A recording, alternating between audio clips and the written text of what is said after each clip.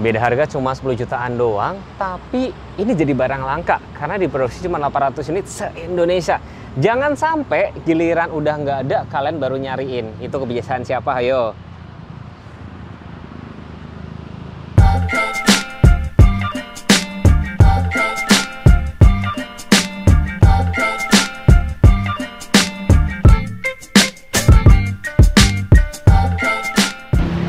Seperti yang saya bilang sebelumnya, orang Indonesia tuh punya kebiasaan yang unik. Saya pun juga sih. Kadang-kadang kalau kita pengen beli sesuatu tuh nunggu nanti. Nanti deh, nanti, nanti nunggu uang cair, nanti nunggu bonus cair dan segala macam hingga akhirnya barang yang pengen kita beli itu udah habis.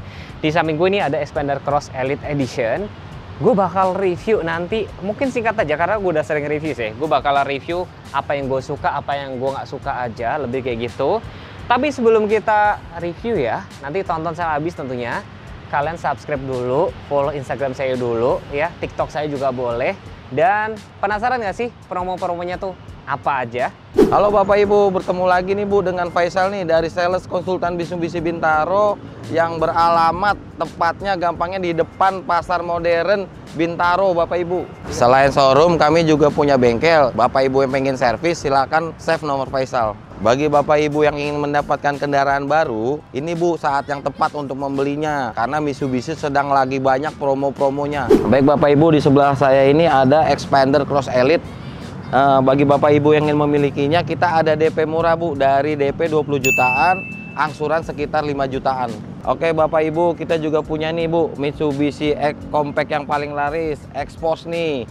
DP-nya itu mulai di 20 jutaan juga nih, angsuran di sekitar 6 jutaan. Oke Bapak Ibu, kita juga ada yang besar nih, maskotnya Mitsubishi, Pajero Dakar 4x2 untuk Bapak Ibu untuk memiliki dia ada Bu DP minimnya itu sekitar DP 35 jutaan angsurannya 14 jutaan nih Bu unitnya mantap. Selain DP DP yang tadi murah tadi ya Bu ya itu kita punya promo Bu. Itu bunga 0% sama DP minim lagi nih itu 10% terserah Bapak Ibu mau pilih yang mana tuh bunga 0% atau DP 10%. Oke Bapak Ibu, kami juga bisa melayani trade-in Bu, itu tukar tambah dari mobil merek apa pun dengan harga terbaik. Kami juga punya test drive nih Bu, bagi Bapak Ibu yang ingin test drive bisa di dealer Faisal atau yang tidak bisa hadir ke dealer Faisal, Faisal bisa kirim unitnya ke rumah Ibu nih untuk test drive. Untuk info lebih lanjut bisa hubungi ke nomor Faisal di 0821 1307 7966 atau Ibu bisa janjian sama Faisal di Mitsubishi Duino Bintaro ya Bu. Faisal tunggu ya Bu.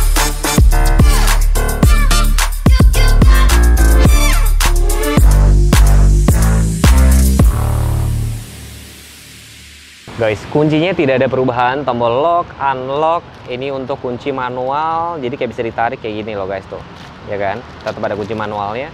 Sebenarnya kalau secara fitur, tentunya Expander Cross ini tuh kalah lah dibandingin mungkin kayak Stargazer Prime, mungkin sama Veloz yang TSS kayak gitu. Tapi yang bikin bingung adalah penjualannya tuh selalu laris manis. Bingung gak sih? Karena orang Indonesia tuh pertama-tama tuh kalau cari mobil tuh dilihat tuh desain dulu ya, desain. Meskipun desain itu soal selera ya, ganteng nggak tuh selera, tapi bisa dibilang mobil ini sangat futuristik banget, bahkan hampir sama dengan mobil konsepnya. Dari depan hampir tidak ada yang banyak berubah kecuali lampunya sekarang sudah ada DRL. Ini DRL, yang lama kan nggak ada ya. Ini sudah ada DRL, terus kayak aksen-aksen chrome, perlambuan masih sama dengan Expander Cross yang sebelumnya. Nah, yang bedanya sama Expander Ultimate tuh kayak bagian dalam tuh dia chrome. Nah, ini tuh udah chrome gitu. Perlambuan sudah LED baik fog lamp maupun head unitnya juga, tapi belum otomatis sayangnya ya. Ini sudah ada round view monitor dan desain bumpernya saya bilang sih sama persis ya. Kayak di sini warna dop, warna silver, kayak gini jadi yang saya bingung balik lagi adalah selera masyarakat Indonesia. Jadi kalau misalnya kita ngomong nih brand sebelah ya dikasih fitur seabrek-abrek sekalipun, tapi kalau masyarakat Indonesia nggak suka, tetap penjualnya kalah sama ini. Di bulan Mei dia juara nomor 3 kalau nggak salah ya. Nomor satu kalau nggak salah RAS, nomor 2 XL7, nomor 3-nya Expander Cross. Jadi masih worth it buat dibeli nggak? Masih banget. Ini saya bilang masih cukup tinggi loh. Lihat ya, air intake-nya itu setinggi apa. Tuh, cukup tinggi banget tuh ya setinggi ini cukup tinggi banget mesin yang dipakai itu sama dengan yang dipakai sama X-Force 1500 cc tenaganya 105 PS torsinya 141 Nm ini sudah di kasih perdam dan sudah dicat rapi kayak gini. Remnya sudah ABS dan sudah dilengkapi dengan aktif yaw control sama dengan si X-Force. Jadi itu kalian tuh baru berasa kalau pas cobain ya. Saya berasa banget kalau pas neng pas nikung itu tuh lebih stabil banget. Jadi mungkin yang nggak terbiasa tuh kayak agak ngerem-ngerem gitu loh. Tapi itu ngejaga mobil tetap safety pada saat dibas belokan kayak gitu. Jadi kalau dari tambak depan sini pertama saya masih suka gantengnya futuristik banget. Bahkan kalau dari jauh tuh mobil ini, wih bikin apa ya bikin orang tuh nengok gitu loh. Apalagi warna yang putihnya kayak gini sih guys. Yang bikin beda ini sama si Expander Ultimate tentunya tampilannya ini lebih SUV banget. Terlihat dari mana over fender ya kan? Over fender itu bahan dop kayak gini. Terus ini side skirtnya juga bahan dop ada set body molding uniknya dia letaknya di bawah. Biasanya mobil-mobil kan di atas ya di tengah ini ya. Tapi ini jadi lebih clean jadi perpaduan bahan dop warna silver. Profil ban yang dipakai 205 55 ringnya 17 depan cakram, belakang masih tromol dan dia tuh kembangnya beda. Ya machiningnya tuh silver sama grey gitu. Dan sudah dilengkapi dengan rem ABS sama active control yang dimiliki dia sama si X-Force itu ya kalian harus cobain sih kalau kita ngomongin itu ya. Di bagian sebelah sini ada kamera round view monitor dan ini yang warna Elite Edition. Di sini dibikin tuh nih warna hitam nih ya kan? Spion hitam ini hitam juga. Ini juga dibikin warna black glossy gini. Smart entry juga kiri kanan dan belakang. Ini sudah ada roof rail. Kalau si Expander Ultimate itu dia belum ada. Ini beneran bisa dipakai banget ya. Jadi buat kalian yang suka camping ground camping ground kayak itu bisa banget dipakai. Dan ngomongin panjang, ini panjang banget loh, sekitar 4595, wheelbase-nya 2755. Bahkan beberapa mobil tuh ngikutin dia loh untuk wheelbase-nya. Jadi hampir sama dengan si kalau nggak salah sama Stargazer X sama si BRV itu sama juga sekitar dua tujuan gitu loh. Jadi ngebikin perjalanan jauh tuh nggak capek gitu loh guys. Jadi tambah lagi satu lagi yang saya suka di bagian sebelah sini ini. Ini kacanya tuh sampai belakang jadi seolah-olah tuh floating kayak gini. Mungkin kalau ini warna putih itu seolah-olah atapnya tuh floating. Tapi di sini karena dia elite edition dibikin warna hitam semua. Cakep sih. Dengar-dengar dengar-dengar ya kalau saya baca-baca dari netizen. Syarat mobil aku di Indonesia itu adalah SUV dan tiga baris. Kenapa cari SUV ground clearance tinggi guys. Ini kalau lihat dari sini ini sekitar 20 nih 28 ya, hampir 28 ya tuh. Cukup tinggi kan? Jadi kalau kalian tuh yang suka road trip dan segala macam jalanan di Indonesia itu juga kan nggak tahu ya kita nanti bakal ketemu jalan rusak atau genangan air, banjir. Jadi kalau mobil-mobil SUV kayak gini tuh lebih tenang nggak sih? Gue pribadi juga kalau suruh milih, masa gue mobilnya kan SUV sekarang, balik ke MPV mau nggak? Belum tentu saya mau. Kita ke belakang lihat ya. Jadi saya suka banget. Ini tuh juga balik lagi ini tuh bukan spoiler guys. Ini bukan spoiler tapi memang dibikin warna hitam dan memang agak menonjol. Ada Hammond lamp antena Savin udah hitam juga defogger ada. Perlampuan oke saya nyalain lampunya kalian harus lihat. Nih lampunya sudah LED T-shape nya kan. Cakep loh kalau dari jauh tuh cakep aja gitu loh ganteng gitu kan ada emblem Expander Cross di sini ada emblem Elite Ed Limited Edition. Sebelah kanannya polos. Ini sudah ada lampu plat nomor ini kamera around view monitor logo Mitsubishi-nya dan di bagian bumper bawah sini tuh ada perpaduan nih kayak warna hitam, warna silvernya, parkir sensor, warna bodi nih ya. Terus di sini di bahan dop lagi, muffler letak ke sebelah kanan, ban serpeda belum full size dengan keempat ban lainnya, dia beda nih. Dan uh, ini saya suka, jadi nanti bakalan jadi barang langka banget sih pasti sih dan uh, pada saat kita buka bagasi nah di sinilah salah satu perbedaannya lagi. Di sini dapat subwoofer nih Rockford nih ya di sebelah sini nih. Jadi suara speakernya nanti saya juga tes ya kan? Tapi yang saya suka dari expander ini adalah baris ketiganya tuh bisa dilipat rata kayak gini. Nah ini kalau misalnya dilipat ya dilipat satu buat taruh koper ini koper ukurannya tinggi sekitar 80 cm ini lebarnya sekitar 50 dan di sini ada tempat penyimpanan tertutup nih guys tuh ini dari roda masih ada sekitar 75 cm teman-teman. Tuh, cukup ya. Nih, cukup gede banget.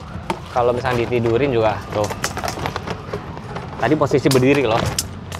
Kalau ditidurin, ini masih bisa buat naruh lagi kan? Itu masih ada sekitar 37 cm ya. Jadi kalau baris ketiga bisa dilipat rata kayak gini, ini salah satu yang saya suka ya. Saya berharap banget ya suatu saat ya, kayak mobil-mobilku gitu ras ya, dibikin rata kayak gini tapi bisa jadi nanti pengeras roda depan. Ini pengeras roda depan guys. Dan maticnya sudah CVT. Gue langsung penasaran sama suara speaker itu sebagus apa ya. Kita langsung play aja.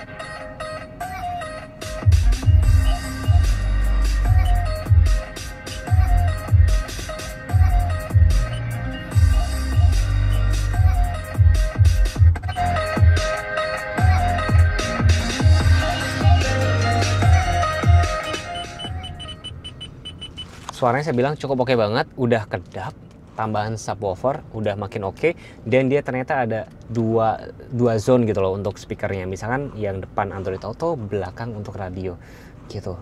Ya nice to have aja meskipun belum tentu berguna tapi udah cukup oke sih. Jadi menurut kalian gimana speakernya? Udah oke dong? Ya gue bilang sih udah cukup oke lah ya. Karena kabinnya juga cukup kedap ditambah lagi subwoofer lagi yang barangnya limited edition. Cuma nambah 10 juta sih oke banget sih. Terus juga di bagian interior ini yang saya suka juga selain sudah dilengkapi dengan Android Auto nih kayak gini, Apple CarPlay ya, memang masih pakai kabel tapi buat gue pribadi udah cukup. Kalau butuh tempat cas tinggal taruh aja ya kan. Cuma memang AC-nya di sini tuh masih meskul aja, tapi arah semburannya cukup lengkap nih guys, atas bawah. Itu penting loh. Kadang kalau kayak mobil gue tuh, mobil gue gue nyalain ya, kedinginan banget. Tapi kalau kayak di sini bisa disebar nih semburan atas, semburan bawah gitu loh. Udah cukup ngebantu banget. Dan di sini warna-warna navy blue, sabta-sabta aja kan. Di sini tuh kayak wooden panel tapi warnanya hitam kayak gitu. Dan ada aksen-aksen warna silver juga kayak gini sih airbagnya memang cuman ada dua dia tuh baru agak lengkap tuh di ekspor tuh ada empat sih guys tapi kayak misalnya letak-letak setir nih setirnya itu sama persis kayak punya Pajero termasuk meter kelas juga bahkan yang unik kalau kita injek rem itu tampilan mobil yang di MID sini itu juga ikutan nyala sih. Itu kayak menarik gitu loh.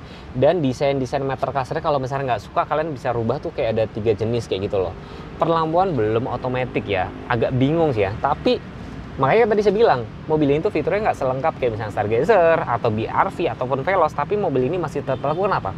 Mobilnya kalau dari luar ganteng, dari dalam juga sudah cukup kenapa?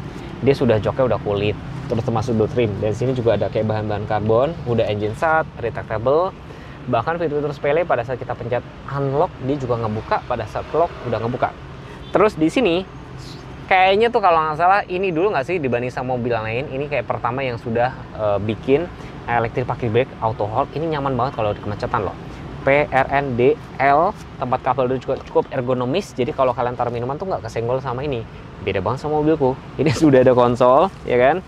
Dan tempat duduknya cukup lapang. Dan kalau pada saat kalian duduk sini visibilitasnya saya bilang sih cukup oke. Kenapa? Dia spirit itu agak mundur kayak gini loh. Memang kalau mobil-mobil SUV itu pilar kan memang gede-gede.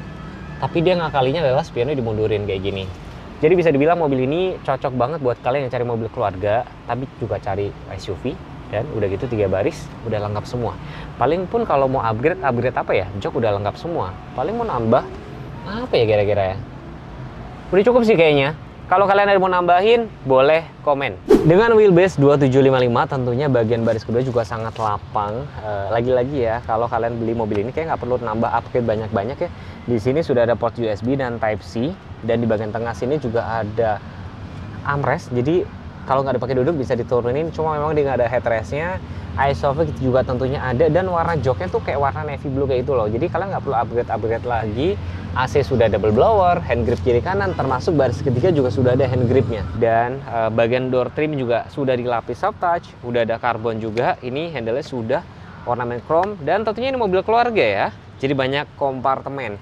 Cup holder banyak banget, tiga di sini ada CD pocket, kiri dan kanan. Pesan gue cuma satu ya, kalau memang lagi cari mobil yang tinggi, muat tiga baris ya kan. Karena bagaimanapun ya, mobil dua baris sama tiga baris tetap laku tiga barisnya. Apalagi bentuknya SUV bener nggak sih? Jadi lebih cocok buat di jalanan Indonesia. Banyak ketemu jalan rusak dan banjir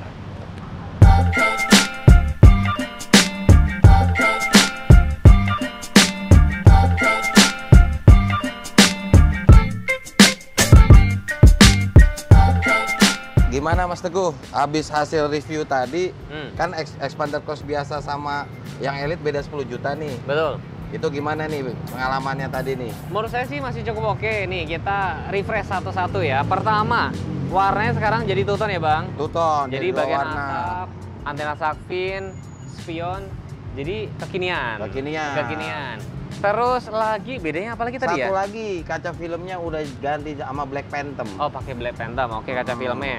Terus yang tadi teman-teman lihat ada tambahan subwoofer Rockford ya? Rockford. Terus kayak udah ya itu doang ya? Itu aja hanya ada Itu aja ya? item. ya. Yang lama masih bagus ya. Jadi sudah ada electric parking brake, auto hold, head unit udah bisa Android Auto, Apple CarPlay, udah cukup oke okay ya. Dan joknya juga sudah kulit ya bang? Kulit, udah kulit. Udah kulit semua, jadi kalian nggak perlu upgrade-upgrade lagi sih. Jadi kalau sebenarnya customer bang yang udah-udah. Mobil kayak gini kan bilangnya tarsok tarsok. Ya bener tuh, bener. Iya kan? Bener kan? Ntar, ntar aja mas, besok aja mas kan suka gitu tuh. Udah gitu keburu habis lagi Keburu ya. habis. Karena cuma 800 unit. Nah, pesan saya cuma satu. Kalau cari mobil harus apa nih, Bang? harus sama Faisal. Iya. Datang aja ke sini ke Duindo, Bintaro, Samjaya nih. Ya. Jadi kalian nanti bisa langsung tektokan kalau tanya harga langsung sama Mas Faisal Sama aja. Faisal aja. Dan saya cuma ngobrol-ngobrol aja tadi sama Mas Faisal ya. Yang bikin laku mobil di Indonesia itu pertama kayaknya model dulu Bang ya. Model. Yang penting ganteng ya. Penting ganteng dulu, galak dulu deh. Galak dulu ya. Galak dulu. Galak dulu. eh, udah gitu tiga baris. Tiga Ini baris. Tiga baris. Tempat duduknya juga cukup luas kan. Cukup luas. Karena wheelbase-nya 2,7 cukup luas sih. Nah, sampai di sini dulu videonya. Komen kalau pengen dibuatin video lainnya. Jangan lupa subscribe, jangan lupa follow Instagram saya Oke. atau Instagramnya Mas Faisal ya. Terima kasih sudah menonton. Wassalamualaikum warahmatullahi wabarakatuh. Bye bye. Bye bye.